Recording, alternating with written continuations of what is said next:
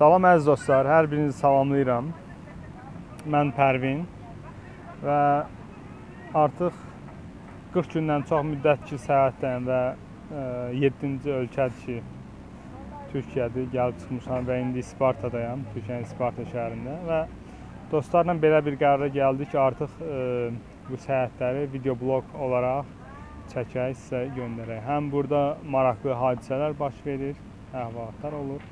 Həm də bəzi maraqlı məlumatlar, faydalı məlumatlar olar ki, sizlə bölüşüm.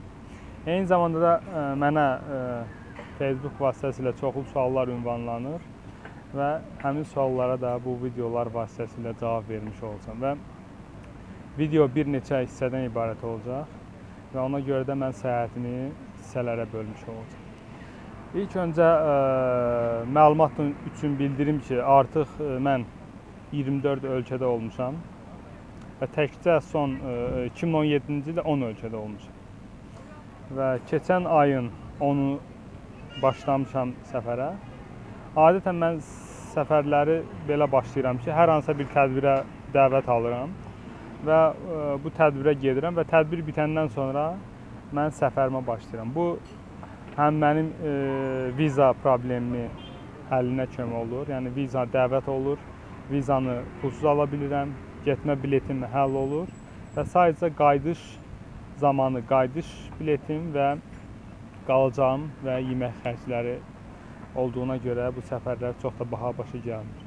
Və mənim ilk ə, iyun ayının 10-unda Amerika ə, ya səfər elədim və bu səfər ə, short term governance program, qısa müddətli ə, fellowship idi. 18 gündən ibarət idi və səfərin ə, Washington şəhərinə oldu və Washingtonda bir çox görüşlərimiz oldu. Dövlət departamentindən tutmuş müəyyən araşdırma mərkəzlərinə kimi və qısa 4-5 günlük ə, fellowshipim isə Amerikan səsi televiziyasında oldu və burdan da Amerikan səsinə Azərbaycan bölməsinə öz təşəkkürümü bildirirəm.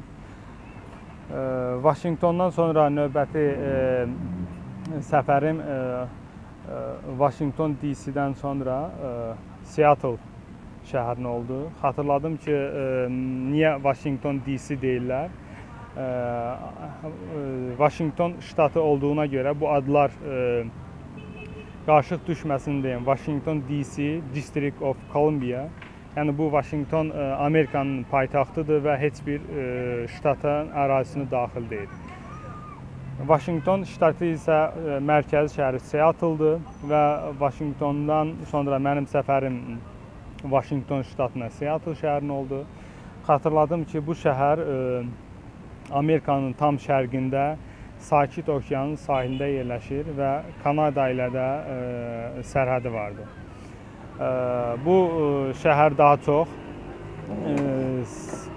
sənaye şəhəri kimi tanınır və tanınır və böyük şirkətlərin əksəriyyəti həmin ə, şəhərdə yerləşir. Bura misal üçün Amazon ə, Amazonu göstərmək olar, Microsoft şirkətini göstərmək olar və böyük biznes şirkətləri ə, həmin şəhərdə yerləşir və bizim də bu proqram çərçivəsində bir neçə belə şirkətlərlə görüşümüz oldu və eyni zamanda Microsoft ofisinin Microsoftun bir ofisində də görüşümüz oldu.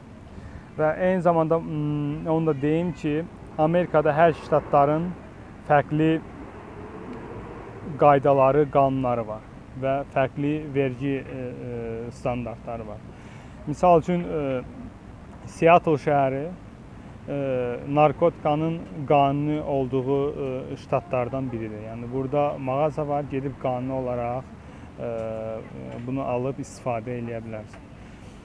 Buradan sonra mənim səfərim New York ştatına oldu, New York şəhərinə oldu və eyni zamanda bunu da qeyd edirəm ki, New York City deyilir. Çünki New York ştatı da var və bu ştatdan fərqləndirmək üçün New York ə, City deyirlər New York şəhərinə.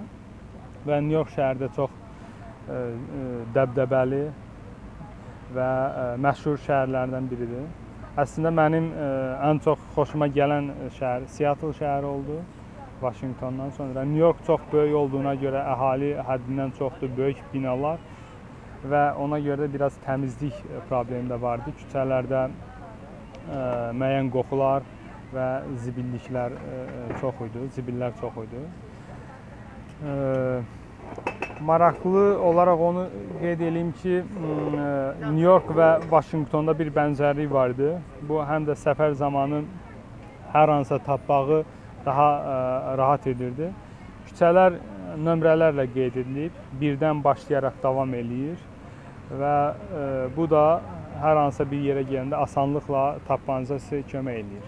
Məsəl üçün məşhur ə, New Yorkdakı Trafalgar Square ə, 43 ya 46-cı küçədə yerləşir və sən gedərkən sənin yerləşdiyin yerin hansı küçədə olduğunu azalan və ya çoxalan istiqamətdə asanlıqla müəyyən edə bilərsən. Eyni zamanda rəqəmlərlə də qeyd olunub. A küçəsi, B küçəsi və bu da olduğun yeri müəyyən etməyə sizə kömək edir. Və mənim səfərim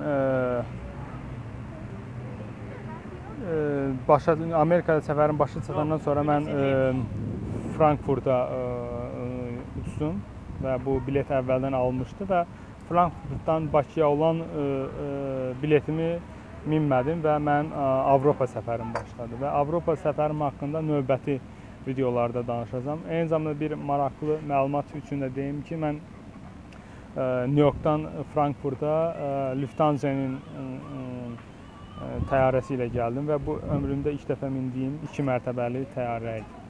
Və dostlar, bu Amerika səfəri haqqında sizə verdiyim qısa məlumat. Növbəti video bloqlarda isə Avropa ilə Amerikanın fərqləri, eyni zamanda avtostopla necə səfər etmək olar, səfər zamanı özünüzlə nələri götürməlisiniz və başıma gələn maraqlı hadisələri sizinlə bölüşəcəm.